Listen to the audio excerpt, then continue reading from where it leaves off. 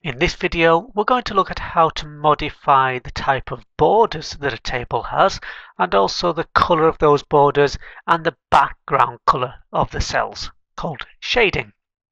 It's really an amalgamation of two videos you've already seen, one on adding borders and shading to text and the other on selecting parts of a table.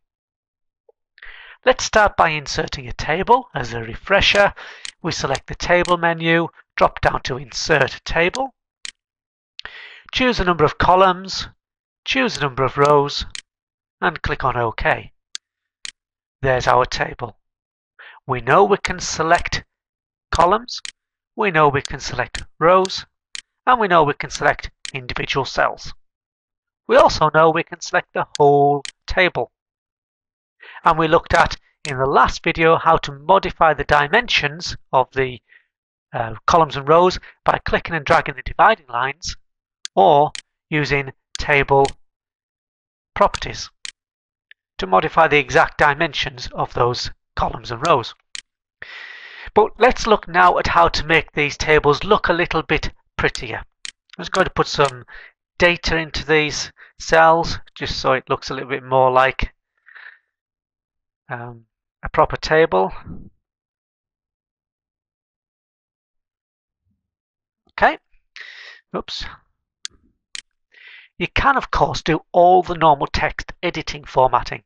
For example, you could select a row and change it to be centered aligned so that all the information in that row is centered aligned. Of course, you could do that on a column or a cell.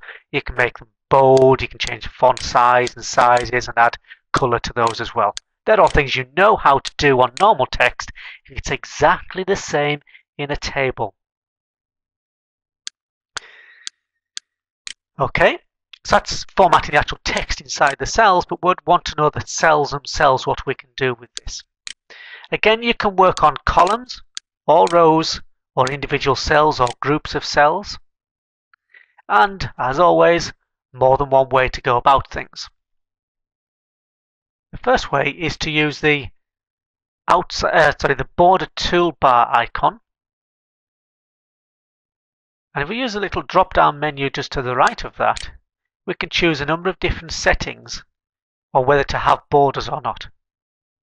So for example, if I select the whole table and then do the drop down arrow and choose no border, then all the borders disappear. You can still see them grayed out on the screen. That's to help you lay out your document. But when you print it, those grey lines will not appear so again, you could do that with selected cells as well. Let's just select the first row and we can use this icon now to choose a box border, an outside border, and that puts a border around the outside of just that row. I like a little bit more control than that. So I'm going to show you the other way of working. Again, you can select your column or select your row or certain cells and then do format and drop down to borders and shading. I told you you'd be familiar with it. And we use this in exactly the same way as we did with text. We work left to right, choose a style of border that we want. Do we want the box border that will go around the outside of the whole row, but not the lines in between it? Or do we want to put the grid lines in? Your choice. I'm going to put the grid lines in. No, what? I'll put a box border on.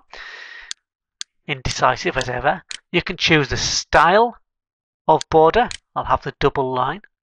You can give it a colour. And you can alter the thickness of the line as well.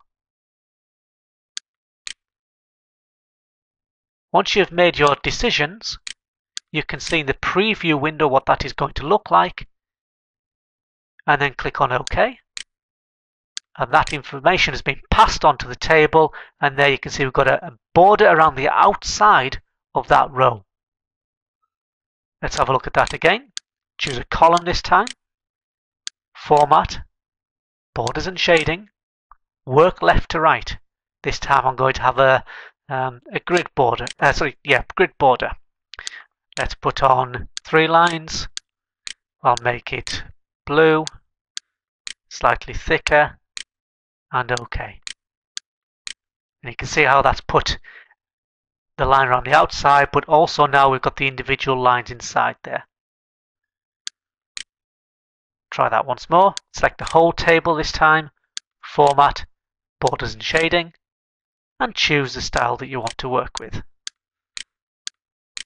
Let's have this one. Can't alter the thickness of this one, just the particular style of border that you can't alter. Can give it a colour though, and OK. There, that looks pretty.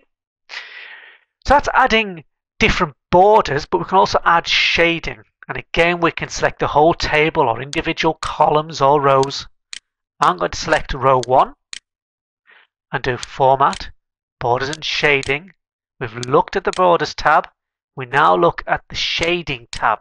The shading is the background color. I'm going to make it yellow and OK. And you can see that's put a background shading of yellow onto the cells that I had selected. You can just work with individual cells or groups of cells.